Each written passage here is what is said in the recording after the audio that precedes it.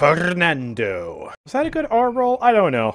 Fernando is one of the oldest champions in Paladins, he's one of the simplest champions in Paladins, and in my opinion, he's also one of the most fun champions in Paladins, at least in the tank roster, because, well, he's a champion all about being aggressive, making space, and yeah, he's mechanically simple to play, but he's also really fun, in part because of his simplicity, so it's really nice. And uh, in today's video, I'm going to show you what I consider to be the most fun Fernando plays style, which is with the talent Scorch, which is definitely not his most popular talent. Most people end up playing Aegis, and that's fine. I mean, it's a very comfortable, consistent talent, and yeah, it's good, you know? It, it's just, yeah. It's what most people play, especially if they're not Fernando mains, and it's reliable. It gets it gets the job done, but it's not necessarily the most fun way to play Fernando, because there's a lot of shielding. You know, you're just sitting there holding up your shield a lot, and you can still play it aggressively and make space with it, but I think it's significantly more fun to do it with Scorch. And there are also some genuine merits to playing this talent that we'll talk about in this video that I would say makes it better than Aegis. It's a bit controversial, but there are some genuine reasons why this talent would be better than Aegis if you actually know what you're doing. So we're going to play Scorch here. We're going to use my Scorch shield build, which has Towering Barrier for extra consistency on the shield, Incinerate for cooldown reduction on Fireball, and then Hot Pursuit for movement speed. And we're also going to start this match with Nimble. Our goal here is to make space. We want to get in the enemy's faces, push them back, be aggressive, do a bunch of damage, and then use our shield to kind of hold the line or retreat and reposition, right? So that's what we're doing here. And I guess we're actually pushing around, flanking with Atlas here. Let's just go in. Boom, hit that fat fireball. Strix is already dead. First blood, easy peasy. Pop the shield there for a little bit of damage reduction. There's the double kill. Where is my healer? Thank you, Jenos. I can't believe I didn't die there. Let me shield again. And there we go. Look at that aggression. We just get right in their faces, and that extra fireball damage enables us to really put the pressure on them. And that's the first merit of Scorch, obviously. You get extra damage. You don't get that damage with Aegis. You don't need me to tell you that. that's obviously good. But the benefit of the extra damage actually goes beyond just what it is at face value, which is, you know, getting kills more easily. The extra damage you get also gives you extra ultimate charge, right? Because you generate ultimate charge based on the amount of damage you do. So, yeah, by doing 600 damage there, I get a lot more ultimate charge from that fireball than the base fireball. Especially if I hit multiple people and chain it up and get those 700, 800 damage fireballs, right? And the also, also the playstyle itself warrants more shooting, more fireballing, because you have less time to uh, hold your shield up, right? Uh, and so that also leads to do, doing even further damage, and also supporting your team, helping your team get kills, right? And uh, that's really, really good as well. And all of that ultimate charge that you get from doing extra damage leads to you having more uptime on what is one of the best ultimates in the game, hands down. Fernando's ultimate is absurdly good. Uh, duh. Like, everyone knows that. It's one of the best. Makes everyone immortal for 4 seconds. There's no understating how good it is. So if you can have more uptime on that, that's a really good thing. And you want that. You want that a lot. Oh, that was huge. I'm just gonna make space. I'm going in! Cancel it early, hit that fireball on Moldamba. There we go. Hold the shield up here, heal up. Beautiful. And so yeah, that genuinely is really good. And that's something you don't get with Aegis, right? Less ultimate charge with Aegis leads to fewer ultimates, leads to potentially less value for your team. Wow, Strix just got a quadruple. He's popping off. He's insane. Uh, let's do more Nimble. Let's get some... Uh, let's do some Chronos up next. Wait, what did I just buy? Ah, what the heck? Item source bugging out. Alright, we got some Chronos. Another great thing about Scorch, though, actually has to do with the new item store. Um, because, as I'm sure you know by now, there is a damage reduction split, where you have two items for damage reduction now. One of them provides damage reduction versus weapons, and one of them provides damage reduction versus abilities. And most people end up buying armor plating, because, well, let's face it, most damage in this game comes from weapons. But Scorch is an ability. So, the enemies are basically never going to buy Arcane Warding. And that means, when they have maxed out armor plating, your Fireball is still going to be doing 600 damage, and that's a huge burst to have. Um, and yeah, there's pretty much nothing they can do about it, right? They have to use other means of damage reduction to actually... Um... Oh, live! No, I'm a failure. I'm a failure for Fernando Man. yeah, they basically just have like like raw damage reduction from their uh, cards, or they have to actually spec into armor uh, arcane warding to counter you, or they just have to uh, buy veteran.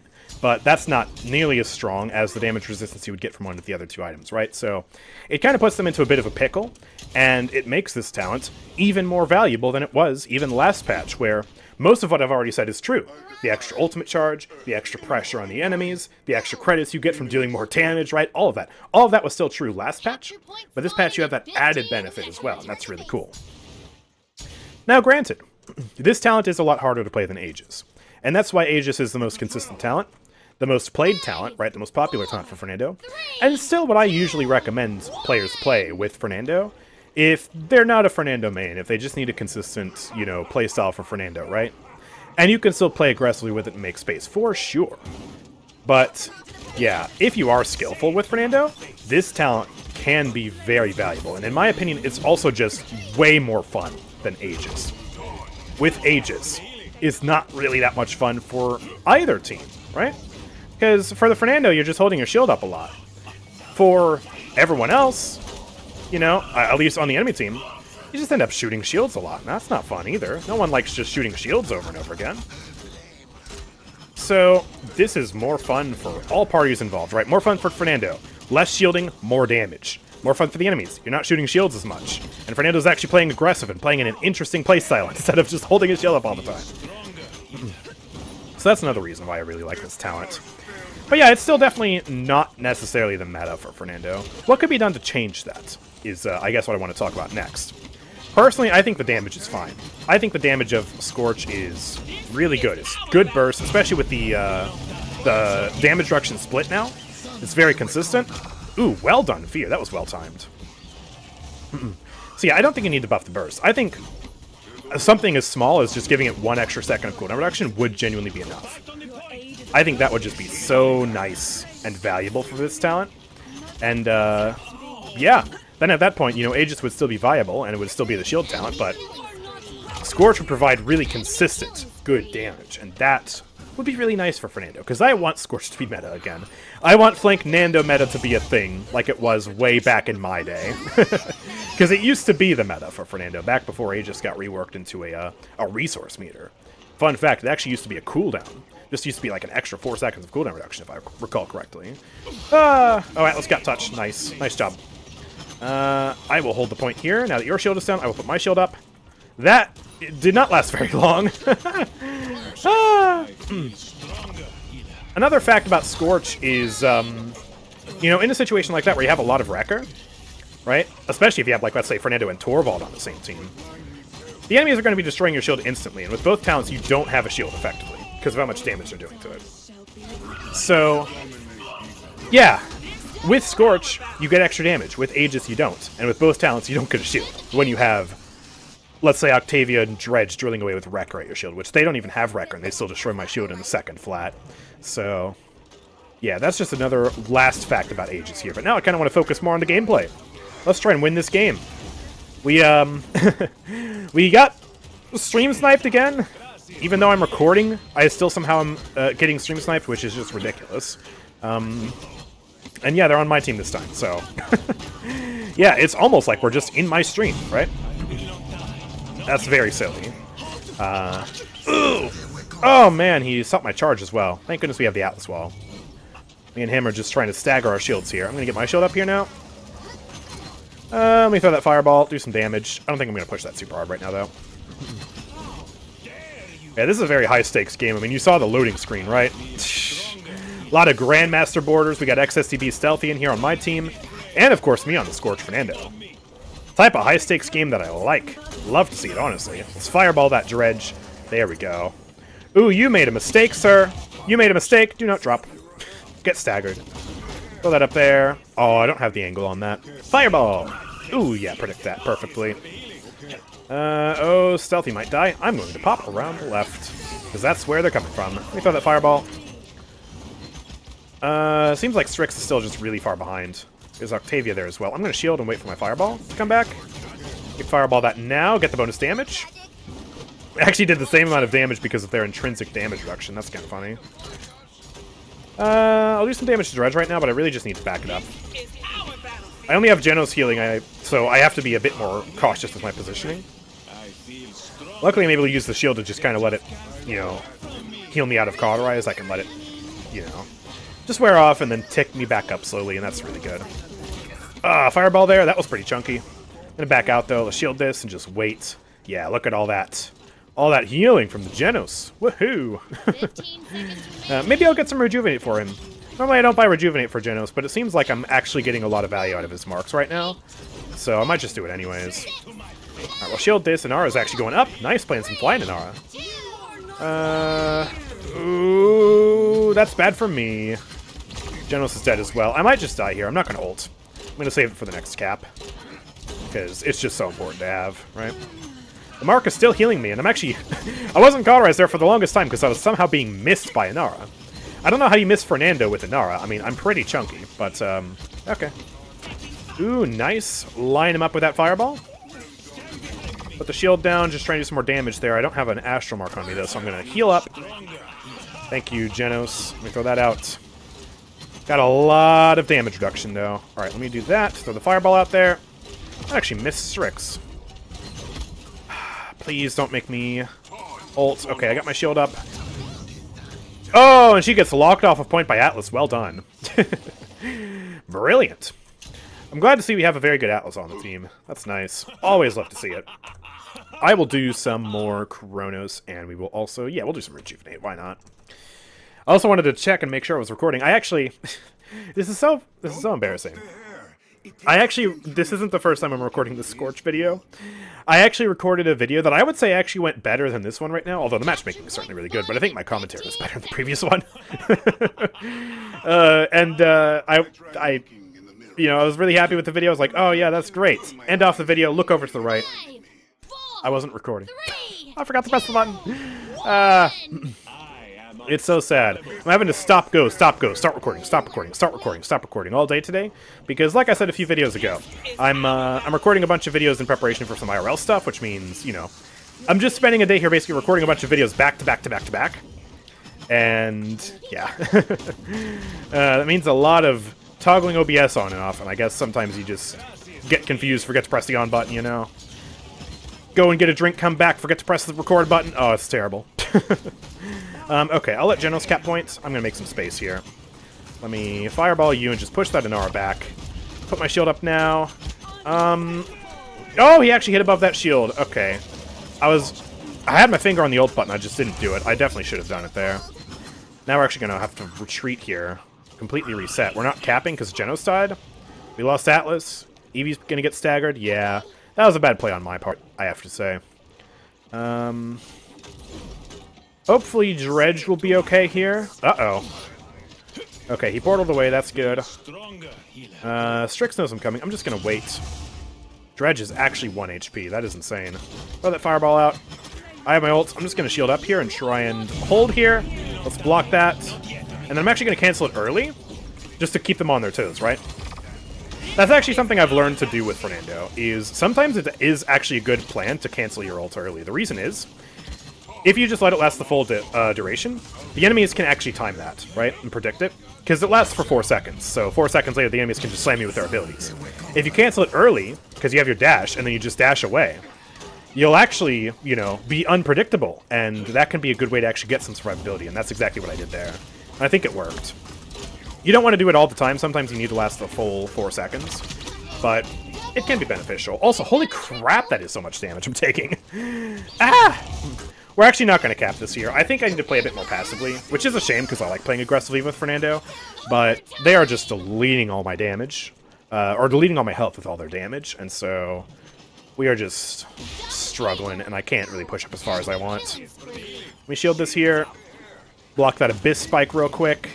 Oh, Dredge, he's flying in. Took a lot of damage doing that, though. I'm going to fight them around this corner here if I can. My shield. Got Strix in my face. You'll notice I'm still getting a lot of shield uptime, even without Aegis, because I have the cooldown card at level 5, and I have Chronos. I'm like, yeah, I have another shield right now. Pretty sure it's like a 6-second cooldown, I think I saw. So, yeah, it's definitely not Aegis uptime, but it is still good uptime on the shield. Good enough that you can still make a lot of space very comfortably. With, yeah, Scorch, not the shield talent. I do see a lot of people use, uh, you know, other cards for the Fireball, like just max out the speed card or something. And that's good, you know, it can be fun. Um, and I know my build is actually a bit on the unconventional side, because actually, yeah, there aren't a lot of people use the shield card in it. But I think the shield card really does add a lot of value. I think it does help out a lot. Um, and I've enjoyed using it for Scorch, personally. I think it makes it more comfortable to actually make space successfully, instead of going all in on the memes of the speed, right? Uh, poor Evie. Fernando's, uh, Strix is trying to pop off here. I'll throw the fireball back there. Wow, what is... Dude, that was like barely any shots at all, and I'm dead to Octavia. Strix only hit me once. Octavia just does 3,000 damage that quickly. Winter Cup Champion 2022. I didn't even realize her title. Yeah, that's insane. I'm definitely feeling it. Holy crap. Alright, let me pop around here. I'm revealed, but that's okay. Looks like nobody's in that hallway. I'm just going to shield here. Let me dash back. I don't want to hold them there. I want to hold them around this corner. Because I can use this corner just as cover, right? Do a lot of damage to Inara, push her back. We got the Atlas Wall. Fireball there. Let me shield. Ooh, she's trying to go up. Just continue to do some damage there. Alright, Fireball. Oh, that was fat. Let's go. Fireball there. Just gonna hold my shield here. We got some space, thankfully. But Fireball there. Good kill on Strix. Do not push up there. Oh, Stealthy, where are you going? I just threw that into the wall like a dummy. Let me shield this for Atlas. Okay, he's got his shield up. Let me throw that fireball there. Do some damage to Inara. They do not push this here. I'm definitely going to save my ult here. We got to keep it for the cap. Just to survive their relentless damage. There we go. We got it. I'm greedy! Fireball, come back! Ah, no, I can't kill her. Oh, man. Alright. We're going to do some Master Riding as our final item here. Just to push in a little bit harder. Inara actually bought Arcane Warding. That's interesting. I guess we do have a pretty fair split. If he was going Snow Globe, it would be even more of a reason to go Arcane Warding, but she's going over the moon, so a lot of reason to use Armor Plating instead. And Dredge is using Abyss Spike, which is a lot of ability damage as well, so... Two big ability damagers here between me and Fernando. And I guess that's why Inara is so tanky, huh? All of that DR, all of that Rejuve, plus Mother's Grace, plus Chronos. Jeez. Uh, but yeah, you notice the rest of them are not buying Arcane Warding at all, which means my Fireball is still doing full damage. And by golly, it feels good. Uh, poor Jenos, not able to get these ults off here. Alright, I'm going to push up around this side. I can't really do that much damage, though. Yeah, this is a lost cause. Let me run away. Got the Atlas Wall. Let me go for another Fireball. Up there, 600 damage. Octavia's low. If Evie can capitalize on that. Oh, I can't see. I'm going to ult. Oh, Evie's dead. Alright. Uh, that was a bit of a failure then. I need to back up, and we need to build more ult charge stat. Uh, throw that fireball there. That totally missed the dredge.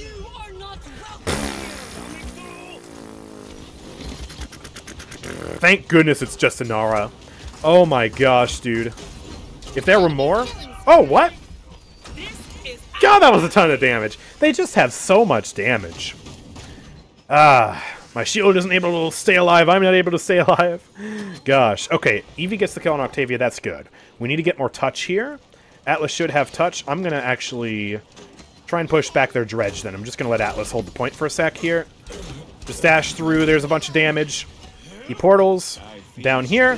Fireball. There we go. He's dead. Clip the Inara with that as well. And now I'm going to tag on point for Atlas. We got overtime, but Inara is really struggling here. Dash through. There we go. She's dead. Huge. And now we have control of the point, but we got to hold this and we got to not fail on the zoning. The last few times I died on the zoning. So I want to be very careful here. I'm not going to play super aggressively. I'm probably just going to play like right here. Hit a fireball and then I'm going to dash away. Fireball there. All right, let me get the shield up and let me rotate back on point now. Hold that shield up. Yeah, just have Octavia spam into it. All right, there's that. I need to go now. Need to have another overtime touch from Atlas. I guess I'm going to have to go for it. There we go. And ours really low. No, I didn't get my shield up in time. The wall went down. I couldn't put the shield up fast enough. That's just too much damage. Atlas is stalling on point, but he's the last one alive, and it looks like we do end up losing this game. Man, that was a really close game, though, I have to say. That was a good game. Sad that we lost that, but they had such overwhelming damage from Octavia and Dredge. Controller Octavia is really just super strong. One of the strongest champions in the game when you plug her in on a controller. I got seven kills there, which is yeah, lower than pretty much everyone except the support. But um, we were still able to do 132,000 damage there. Look at all that damage. 120,000 shielding as well. We really just had a lot of high stats that game. Still got a good amount of objective time too. But man, look at all the damage coming out from their team. 145,000 damage. Their dredge was better than ours, surprisingly. Uh, and also, yeah, Octavia as well. 145,000 damage, 146,000 damage out of Strix. We had, we faced I faced down a Pro Circuit player and a Winter Cup champion 2022, uh, and I, with Scorch, managed to make that last match 3 to 3 with help from my team. That was pretty good. uh, that that was uh yeah we didn't win, but I think that was still a successful match, um, and a very fun match too. So yeah, I'm glad to see it. But yeah, let me know what you guys think in the comment section down below about Scorch. Do you think there's actually merit to playing this talent, or am I just loopy? Would we have won if I played Aegis? I don't think so. I think we would have lost either way. But um, yeah, let me know all that in the comment section down below. Make sure to drop a like if you enjoyed, subscribe if you're new around here, and I will see you all next time. Peace out.